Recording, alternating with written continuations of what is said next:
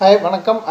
இன்றைக்கி நம்ம பார்க்க போகிற எபிசோடில் பார்த்தீங்கன்னாக்கா the family man two Uh, so இதை பற்றி பேசணும் அப்படின்னாக்கா நம்ம ஃபேமிலியாக ஒன்னில் ஒனில் வந்துட்டு uh, ஃபைனலாக வந்துட்டு ஒரு கெமிக்கல் ஃபேக்ட்ரியில் வந்துட்டு என்ன நடக்குது அப்படின்றது வந்து uh, முடிச்சிருப்பாங்க. ஸோ அந்த ஒரு பரபரப்பு வந்துட்டு எப்போது என்ன நடந்துச்சு அப்படின்றது நமக்கு தெரியாமே வந்துட்டு வச்சுருந்தாங்க. ஸோ ஃபேமிலி மேன் டூவில் வந்து அதுக்கு ஏதாவது கன்க்ளூஷன் கிடைக்குமா? என்ன ஏதுன்னு சொல்லி நம்ம ஸ்ரீகாந்த் திவாரி என்ன பண்ணார்? என்ன ஆச்சு? அவங்களோட டீமுக்கு என்ன ஆச்சு அப்படின்றத வந்துட்டு ரொம்ப ஈகராக வந்து நம்ம எதிர்பார்த்துருந்தோம்.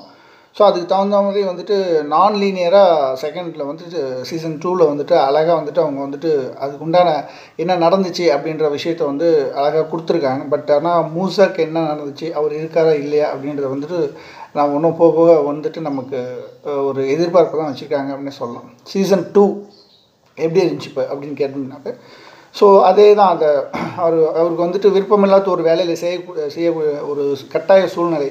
ஐடி கம்பெனியில் வந்துட்டு கட்டாய சூழ்நிலை வந்து தள்ளப்படுறாரு. ஏன்னா அவங்க ஃபேமிலியில் வந்து ஏகப்பட்ட பிரச்சனை. அவங்க கவுன்சிலர்கிட்ட கூப்பிட்டு போகிறாங்க பிரியாமணி மேடம் வந்துட்டு. ஸோ ஃபேமிலி மேன் டூவில் வந்துட்டு என்னென்ன ஒரு ஃபேமிலியை வந்து நீங்கள் எப்படி ரன் பண்ணணும் என்னென்னலாம் பண்ணணும் அப்படின்னு வந்துட்டு அவங்க ஃபோர்ஸாக வந்துட்டு கட்டாயமாக கவுன்சிலர்கிட்ட கூப்பிட்டு போய் நீங்கள் வந்துட்டு கொஞ்சம் டென்ஷன் இல்லாமல் ஸ்ட்ரெஸ் இல்லாத வேலையாக பார்த்து பண்ணுங்க அப்படின்னு சொல்லி ஸோ அந்த இடத்துல ஜாப் பண்ணுறதுக்கு ஆரம்பிக்கிறாரு. ஸோ ஐடி வேலையில். ஆனால் அவரோட மூளை ஃபுல்லாகவே அவரோட வேலையில் அங்கே என்ன டாஸ்க் என்னாச்சு அப்படின்றது தான் ஓடிட்டே இருக்காரு. ஃபோன் பண்ணி ஜேகே சார்ட்ட கேட்டுகிட்டே இருக்காரு. என்ன ப்ராப்ளம் என்ன ப்ராப்ளம் அப்போ தான் தெரிய வருது வந்துட்டு ரெபல்ஸ் இந்த ஸ்ரீலங்கன் அவங்க வந்துட்டு ஒரு டாஸ்க் மிகப்பெரிய டாஸ்க் வந்துட்டு கொடுத்துருக்காங்க.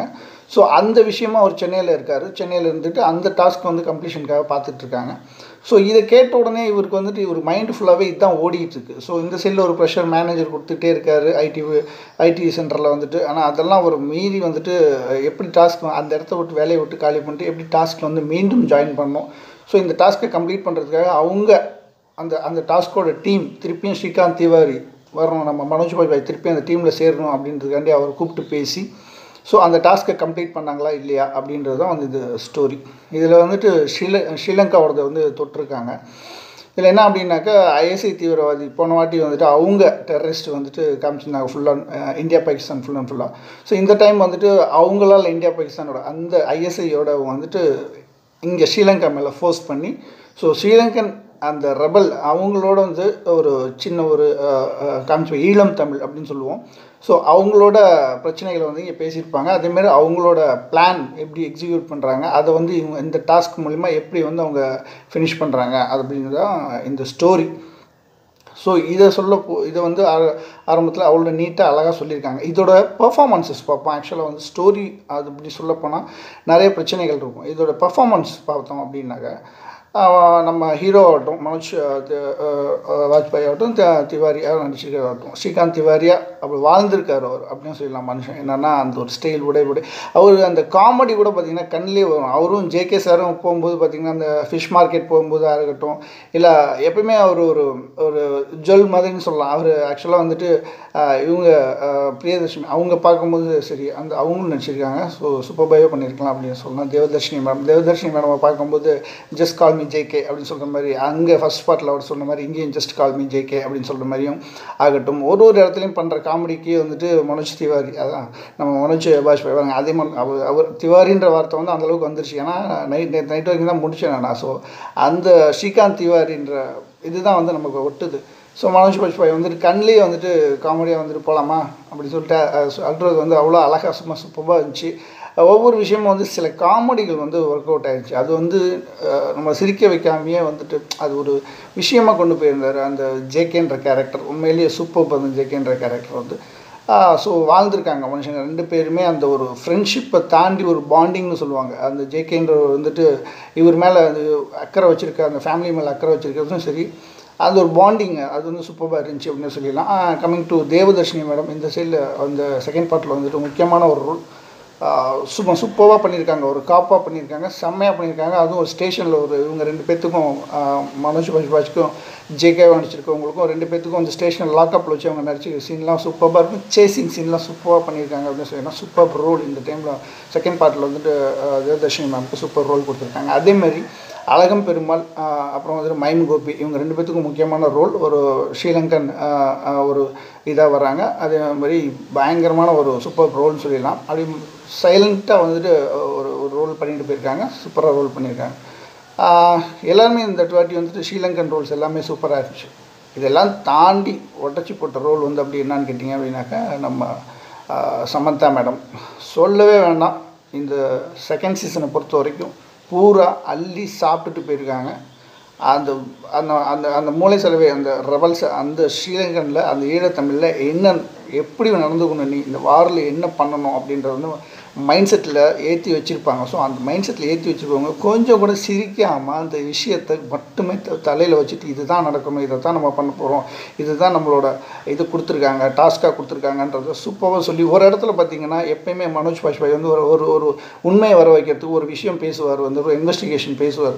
உட்காந்து வந்து அவரோட ஸ்டோரியை சொல்லிவிட்டு எப்படியாவது இவங்கள்ட்டேருந்து அந்த ஸ்டோரியை வாங்கலாம்னு பேசுவார். அந்த டைமில் வந்து இவரோட ஒரு சொந்த சொந்த கதையை வந்து இந்த செகண்ட் சீசனில் வந்து சொந்த கதையை சொல்லுவார். சொல்லிட்டு எப்படியாவது வந்து வாங்கிடலாம் அவர்கிட்ட ஆனால் அவங்க சைட்லேருந்து வர்றது பார்த்தீங்கன்னாக்கா சூப்பராக சமந்தா மேடம் ஒன்று சொல்லுவாங்க. சொல்லிட்டு சொல்லுவாங்க நான் சொன்னது வந்து உண்மை கதை அப்படின்னு சொல்லி சொல்லுவாங்க. அது சூப்பர் அது வந்து சூப்பராக இருந்துச்சு. அந்த சீன் எல்லாமே சூப்பராக இருந்துச்சு. சமந்தா மேடமோட ஆக்டிங் பிச்சு உதவிருக்காங்க ஒவ்வொரு சினிமா இந்த இடத்துல பயங்கரமாக போயிருக்கு. அதேமாதிரி சினிமோட்டோகிராஃபி சான்ஸே இல்லை. லாஸ்ட் சீனில் ஒரு சேசிங் பார்த்தீங்கன்னா பயங்கரமாக இருக்கும். அந்த ஃப்ளைட் டேக் ஓவர் ஆஃப் அப்போ ஒரு சேசிங் ஒன்று கொடுத்துருப்பாங்க ஸ்கார்பியோவில் சூப்பர் சேசிங் எல்லாமே சூப்பர் ஏரியல் ஷாட்டில் பார்த்தீங்கன்னாக்கா சினிமோட்டோகிராஃபர் கலக்கி இருப்பார் அந்த இடத்துல எல்லா இடத்துலையும் கலக்கி இருப்பார் ஸோ டோட்டலி பார்த்தீங்கன்னாக்கா சீசன் டூ வந்துட்டு ஃபுல் அண்ட் ஃபுல் சாட்டிஸ்ஃபை ஆச்சு. கொஞ்சம் லென்த்தி ஆச்சு. எந்த இடத்துல பார்த்தீங்கன்னாக்கா அந்த பொண்ணை கடத்தி வச்சுட்டு அவரோட பொண்ணை கடத்தி வச்சுக்கிட்டு ஸோ அந்த இடத்துல கொஞ்சம் லென்த்தியாக கொஞ்சம் சீன்ஸை கொண்டு போயிருந்தாங்க. ஒரு சேசிங் சீன்ஸ்னு சொல்லுவாங்க. சேசிங் சீன்ஸை கொண்டு போயிருந்தாங்க. ரெண்டு பேரையும் இழுத்துக்கிட்டு அந்த இடத்துல கன் ஷாட்ஸ் எல்லாம் வச்சு கொஞ்சம் சேசிங் சீன்ஸ் எல்லாம் இருந்துச்சு. அந்த லாஸ்ட் அந்த செவன்த் எயித் எபிசோடு கொஞ்சம் இழுவையாக இருந்துச்சு. அது கொஞ்சம் ட்ரிம் பண்ணி தான் நல்லா இருந்திருக்கும் அப்படின்னு தோணுச்சு. அது ஒன்று தான் மைனஸ் பாயிண்ட்டாக சொல்லலாம். மற்றபடி எல்லாத்து எல்லாத்தோட ஆக்டிங் அந்த பொண்ணாகட்டும் அந்த பையனாகட்டும் பிரியாமணி மேடம்க்கு இந்த இடத்துல ஸ்கோப் கம்மி தான் பட் ஆனால் சூப்பராக பண்ணியிருந்தாங்க அந்த இடத்துல. ஸோ எல்லாமே நல்லா இருந்துச்சு. லாஸ்ட் அந்த கொஞ்சம் ஃபியூ மினிட்ஸ் கொஞ்சம் இழுக்காமல் நல்லா இருந்தால் நல்லாயிருக்கும் ஸோ ஃபைனலாக இவங்க வந்து ஷூட் பண்ணியிருக்காங்க ஸோ ஏரோப்ளேன் அந்த அந்த இது வந்து வெடிச்சிருக்கு. ஸோ பாம்பில் பிளாஸ்ட் ஆகிருக்கே தவிர நம்ம வந்துட்டு என்ன எந்த விதத்தில் வந்து சமந்தா மேடம் வந்துட்டு உயிரோடு இருக்காங்களா அப்படின்னு லாஸ்ட் டைம் வந்து மூசா எப்படின்ற மாதிரி இந்த இடத்துல வந்து மறை மறைமுகமாகவே இருக்குது என்னன்னு தெரியல நமக்கு. ஸோ ஸ்ரீலங்கன் பிரைம் மினிஸ்டருக்கும் நம்ம பிரைம் மினிஸ்டருக்கு உண்டான கரெக்டான வந்துட்டு மீட்டிங்கை வந்து முடிக்கிறாங்க. ஸோ அவங்க கையில் மெடல் வாங்குறாங்க. ஸோ இந்த இதுதான் வந்து டாஸ்க்கு இதெல்லாம் தாண்டி நெக்ஸ்ட்டு முடிக்கும் போது சீசன் த்ரீக்கு உண்டான ஹிண்ட்டை வந்து கொடுத்துட்டாங்க. சைனா இந்தியா வர பற்றி கொடுத்துட்டாங்க. ஸோ கோவேக் கோவிட் இதை வந்து தொட்டிருக்காங்க. ஸோ கோவிட் நைன்டீன் வந்துட்டு சைனாலேருந்து ஒருத்தர் வர்றாரு. ஸோ வந்து இங்கே வந்து ஒரு சைனியில் வந்துட்டு சைனா பாஷையில் வந்துட்டு அவர் டைப் பண்ணி அது எல்லாமே வந்துட்டு நம்ம இங்கிலீஷ்லேயும் கொடுத்துருக்காங்க. ஸோ டைப் பண்ணி அனுப்புகிறாரு task started and it has been அப்படின்னு சொல்லி ஸ்டார்ட் பண்ணுறாரு ஸோ இது வந்து இது வருமா? ஒரு ஒன் இயர் ஆகும்னு நினைக்கிறேன். பார்ப்போம். ரெஸ் wait and see but season டூவை பொறுத்த வரைக்கும் ஃபுல்லி சாட்டிஸ்ஃபைட் பார்த்தீங்கன்னா தெரியும். கலக்கியிருக்காங்க. சூப்பராக இருக்காங்க. ஸோ வாட்ச் ஒம்பது சீசன் இல்லை. ஒம்பது சீசனுமே வந்துட்டு நல்லா இருந்துச்சு. நான் சொன்ன மாதிரி லாஸ்ட் டூ சீசன்ஸில் அந்த பொண்ணு தேவையில்லாமல் அந்த பொண்ணை வச்சுட்டு கொஞ்சம் இழுத்துருக்காங்க. அது மட்டும் லைட்டாக ட்ரிம் பண்ணி தான் நல்லா இருந்திருக்கும் மற்றபடி சூப்பர் சீசன் டூ சீசன் டூவில் super family man season two வந்துட்டு மற்றபடி ஃபஸ்ட் கிளாஸாக சொல்லலாம். இதுக்கு பத்துக்கு நூ எத்தனை மார்க் கொடுக்கலாம் அப்படின்னு கே நூற்றுக்கு எத்தனை மார்க் கொடுக்கலாம்னு கேட்டிங்க அப்படின்னாக்கா 90 மார்க்ஸ் வந்து இது கொடுக்கலாம். அதில் வந்து எந்த வித சந்தேகமும் இல்லை. வாட்ச் பண்ணுங்கள் ஒரே நாளில் உட்காந்து வாட்ச் பண்ணோம்னா நமக்கு கொஞ்சம் இது இருக்கும். நான் ஒரு ஒன் வீக் எடுத்துக்கிட்டேன். அதுலேயும் என் கேரக்டர் நேம் தான் ஜேகே அப்படி ஸ்ரீகாந்த் திவாரி இப்படி தான் எனக்கு நேமே வருது. ஸோ ராஜி கேரக்டர் இந்த மாதிரி நேம்ஸ் எல்லாம் பார்த்தீங்கன்னா நீங்கள் மனசில் பதிவாயிடும். அதுதான் ஒன்று அதுதான் ஒரு ஒரு ப்ளஸ் பாயிண்ட்னே சொல்லலாம் ஒரு ஒரு ஒரு ஒரு சீரியஸ்க்கு ஓகே ஸோ நெக்ஸ்ட் ரிவ்யூவில் சந்திப்போம். அது வரைக்கும் உங்களிடம் வருவது உங்கள் ஸ்ரீ. வேறு என்ன?